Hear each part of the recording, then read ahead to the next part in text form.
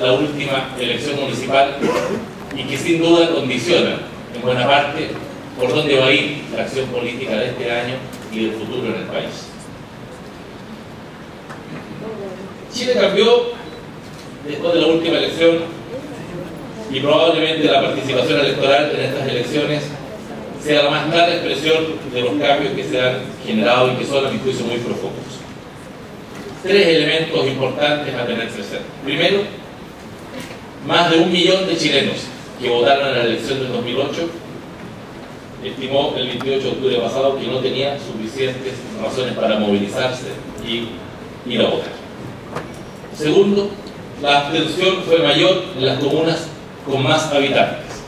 La comuna de más alta abstención en todo Chile fue Puente Alto y su alcalde se eligió solamente con el 12% del total de ciudadanos de esa comuna con derecho a voto. Mientras que las tres comunas con mayor participación de todo el país fueron comunas pequeñitas, Trehuaco, Tortel y Lolol, todas con sobre el 70%.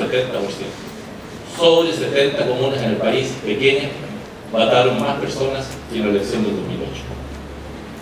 Y tercero, hay una diferencia significativa en los niveles de abstención en aquellas comunas donde los resultados de elección fueron estrechos en el 2008.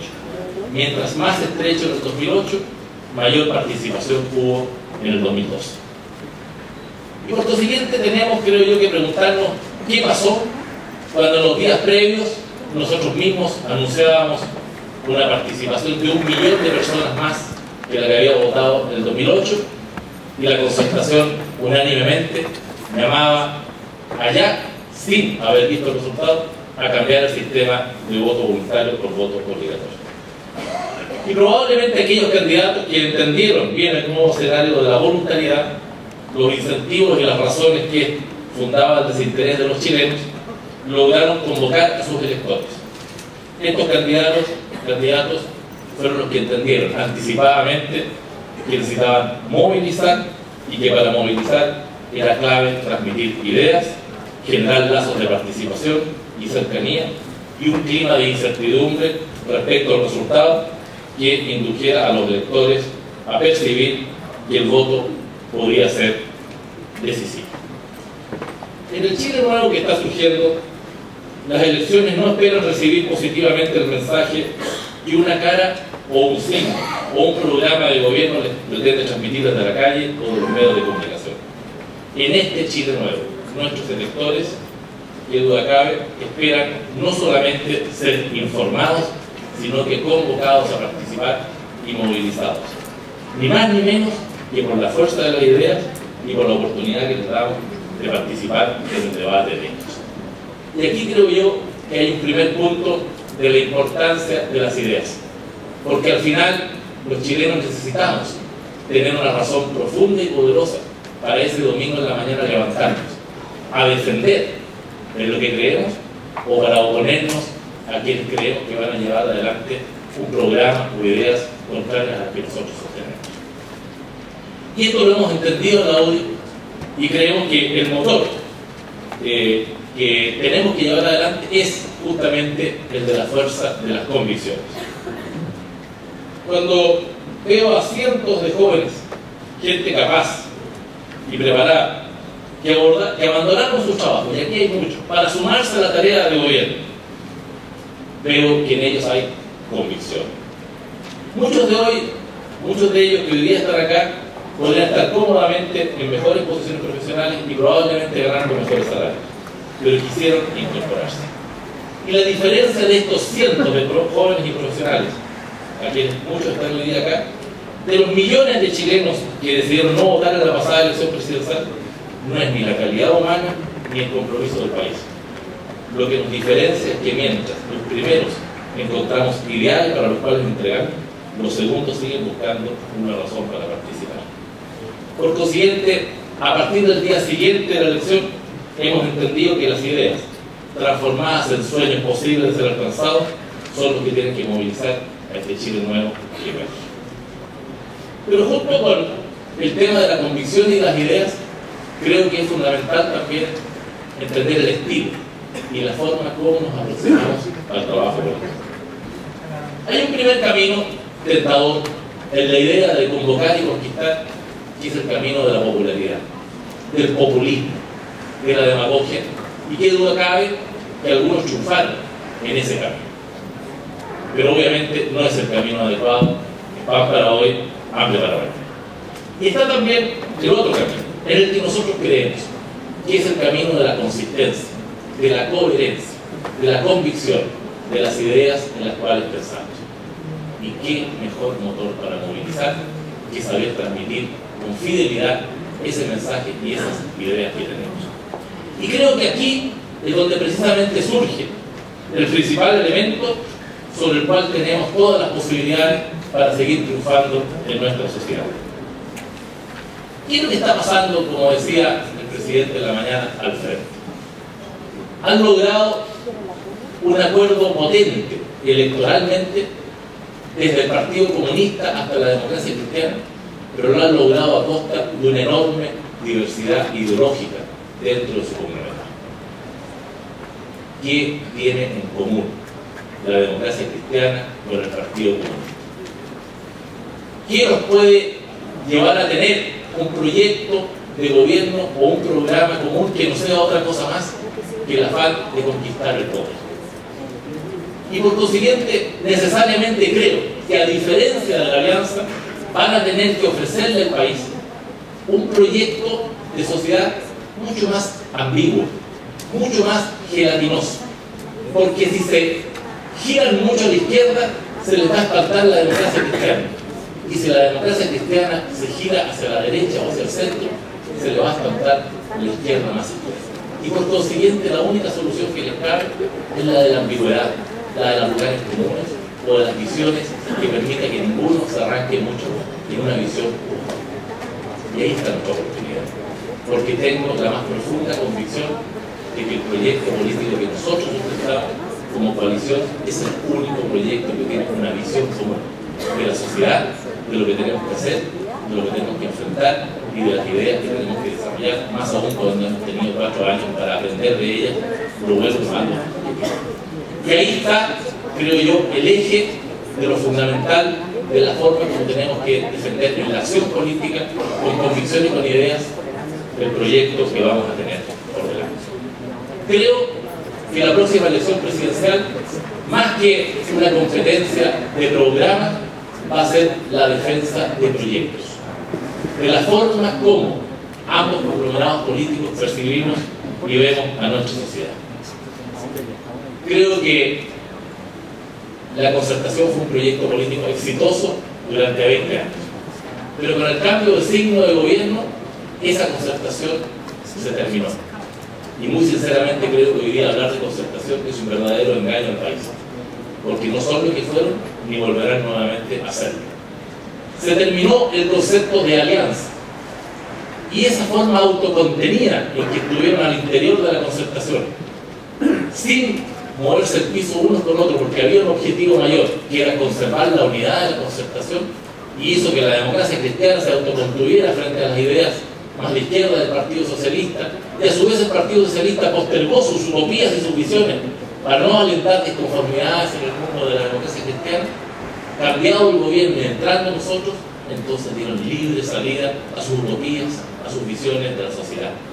Y hoy día prefieren proyectar más bien las visiones de sus propios partidos que la defensa de una coalición de gobierno.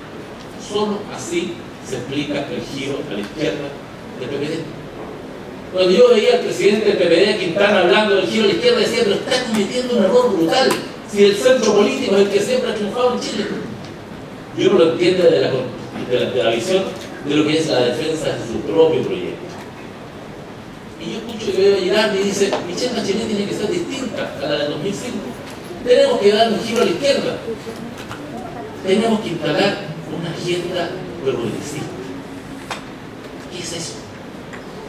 La estetización, los recursos naturales, acaban de tener un intento en el cual casi tuvieron éxito, querían estatizar todo el mar de Chile, con un artículo de la ley de pesca que decía que lo que todos hemos entendido que son recursos de todos los chilenos o de nadie, que son resnulios, ellos lograron, y lo echamos abajo recién ayer, un artículo que decía que todo producto, peces del mar, productos, es propiedad. Y esa visión entonces, ¿qué es lo que es la agenda progresista? Es analizar los recursos naturales, a dónde van con esa visión, qué significa esto de que delegan en una asamblea constituyente las posibles reformas a la constitución, una especie de suicidio colectivo donde se deja el Congreso de lado y se le transfiere a la soberanía popular la mayor capacidad para llevar adelante modificaciones en nuestra constitución política del Estado, que digamos en realidad ha sido modificada más de 50 veces, 210 artículos de ella, y sin embargo, lo que era la constitución de Lagos, hoy día la borra con el codo, lo que ayer escribieron por Y frente a esa amenaza, frente a ese tipo de proyectos, es entonces nuevamente donde considero que la convicción de nuestras ideas y la visión que compartimos es el camino para enfrentar lo que viene por delante. Yo tengo mucho optimismo por el futuro de nuestro país. Si hay algo que hoy día está claro, es que lo mejor que nos pudo ocurrir fue que lo que nos pasó nos pasara ahora en la elección municipal, porque entendimos el mensaje. Sabemos que no solamente tenemos que informar, sino que tenemos que motivar. Ya las elecciones no son unilaterales, donde hay un candidato y un partido que informa y una ciudadanía que absorbe. Son bilaterales. Necesitamos informar y convocar, informar y movilizar. Y por consiguiente, estoy seguro que las próximas elecciones son, están totalmente abiertas a, que tenga, a quien tenga la capacidad de justamente movilizar y convocar a los ciudadanos para la defensa de nuestro proyecto y de nuestras ideas. Y en ese camino es donde surge justamente la oportunidad que tenemos por delante, en la medida que seamos claros, que seamos explícitos en torno a la defensa de nuestro modelo y a la defensa de nuestras ideas. De aquí surge un segundo elemento. A mí, lo que más me llena de satisfacción de estos cuatro años que vamos a gobernar, de los casi tres que ya llevamos, es que hemos roto muchos de los estereotipos y de los mitos que la izquierda construyó de lo que ocurriría en Chile si es que nosotros llegábamos a gobernar. ¿Qué nos dijeron en la campaña presidencial? Si la derecha gobierna, van a privatizarlo todo. Van a cerrar las ferias libres, señora, le decían a la gente. Le van a instalar puros supermercados porque desprecian el trabajo de la gente como son los comerciantes de libres. Van a cerrar los jardines infantiles. Le van a quitar los beneficios sociales, los subsidios, las ayudas. Van a privatizar poder. ¿Qué nos dijeron y qué nos amenazaron? durante meses que tuvimos que enfrentarlos en la campaña y derrotarlos. Y ahí está el eje fundamental de que que un gobierno de centro derecha no solamente tiene mejores ideas, sino que tiene conciencia social profunda, que no juega con las dificultades de las personas, que ofrece soluciones concretas y que tiene la capacidad de generarle un bienestar y un progreso a los chilenos como nunca lo habían tenido en los últimos 20 años y eso es lo que nos debe de llenar, creo yo, de optimismo. Muy contrario sería el escenario si ya hubiéramos visto que el resultado de la elección municipal se hubiera dado en el contexto de un registro electoral como el que teníamos y con voto obligatorio. No estaría parado aquí esta mañana transmitiendo optimismo, sino que más bien pesimismo, porque con un resultado adverso tendría que pensar que se iba a repetir prácticamente igual una vez más está abierto toda la posibilidad. Y esto entonces parte por la capacidad que tengamos justamente de enfrentar con claridad nuestras convicciones, de defender con fuerza nuestras ideas, de no caer en el populismo y en la demagogia, de hacer ver el éxito que ha tenido nuestro proyecto de sociedad, de denunciar con claridad ante la opinión pública la ambigüedad, lo gelatinoso, lo poco definido, lo riesgoso, lo insuficiente e ineficiente que puede llegar a ser un nuevo proyecto de la concertación más el Partido Común. Y este es un cambio muy importante del que hay que hacerse cargo. Nuestros alcaldes sacaron 38%, los de ellos fueron 48%.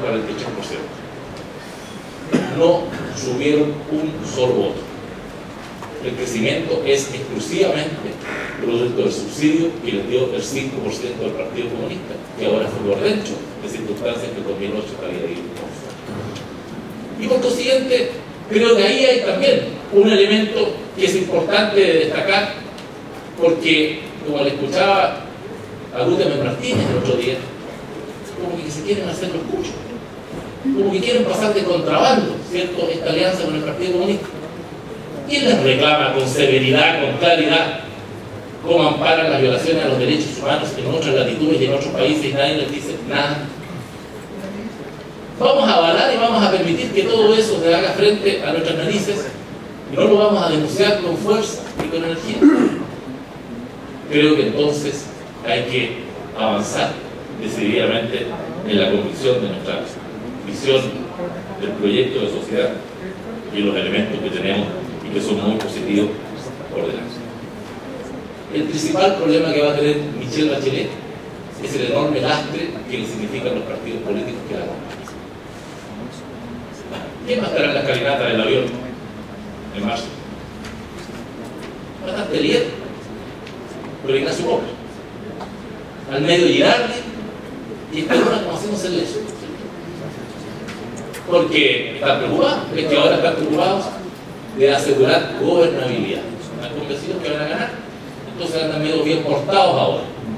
Y lo estamos viendo en la ley de pesca, en el debate en el Congreso. El PPD, como está votando todos en contra. La democracia casi, cristiana casi entera, salvo dos, ayudando en un acuerdo que ha logrado con el ministro Longueira, que ha tenido la capacidad de llegar a un acuerdo. El Partido de la Democracia oponiéndose a todo. ¿Y para qué vamos a apoyar, compadre? Si nosotros lo, que queremos es que esta ley se apruebe, pero sin los votos nuestros, porque queremos pasarle la cuenta al gobierno. Pero otro gallo cantaría si es que tuvieran que asegurar ellos que esa ley se aprobara, porque lo único que quieren es que todos estos temas estén solucionados cuando pretendan volver al poder, en marzo de 2014. Y les tengo una mala noticia, no van a volver al poder.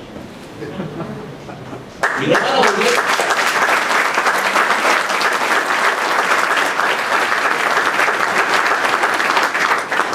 y no van a volver al poder por lo que ya he señalado y no voy a preguntar más en eso justamente por el poder de nuestras ideas. Y tal como lo dijo ese y con eso termino Lucía como lo dijo eh, ese destacado eh, publicista que es Jacques Sequelin que es quizás uno de los más famosos del mundo al menos en la arena política fue asesor de François Mitterrand, con quien rompió un récord. Mitterrand gobernó Francia eh, por 14 años. También asesoró a Black Havel, Havel que fue el último presidente de Checoslovaquia y el primero de la República Checa, y que también gobernó 14 años. Pero sé que la fue, una gran derrota en su vida. Y los culpables de esa derrota tienen nombre y apellido. Joaquín David, y la Alianza por Chile. Así es, Jacques Sequelá fue el asesor comunicacional de Ricardo Lagos en la campaña presidencial del 99, donde recordamos que estuvimos a 30.000 votos de ganar por Joaquín David, menos de un voto por mes. Y el resultado de la primaria, de la primera vuelta, fue inmediatamente despedido. Pero el talento de Sequelá es incuestionable, y eso tiene tres cosas es importante nuevamente tenerlas presentes a la luz de los cambios que está debiendo nuestra sociedad. La primera, se vota más por una persona que por un partido. La segunda, se vota por el futuro más que por el pasado. Y la tercera, se vota por un proyecto más que por un programa. Yo quiero esta mañana invitarlos a tener esto presente, a no restarse, a tener el optimismo nuestras ideas en Chile y en el mundo entero. No tenemos por qué andando mimetizándonos y pareciéndonos a ellos. De repente hemos tenido algunas tentaciones en nuestro sector. Como que nos acomplejamos de decir que somos de derecha. Como que asumimos a veces más lo políticamente correcto que lo políticamente incorrecto, que es lo que a mí me gusta. Por algo, Jaime Guzmán, nuestro fundador de nuestro partido y el líder de nuestra idea, decía que en la UDI teníamos vocación de salmón. Arturo le decía que personas, no le sienten contra la corriente. Remontan el río con fuerza y con energía. No se dejan distraer por cantos de sirena ni por la popularidad fácil. Y tenemos que convocar hoy día a nuestros jóvenes, a nuestra sociedad, justamente a resistir la impopularidad, porque ella muchas veces es transitoria. A liderar con nuestras ideas a convencer a los electores de las bondades de ellas. Y estoy seguro que con eso vamos a triunfar nuevamente. Muchas gracias.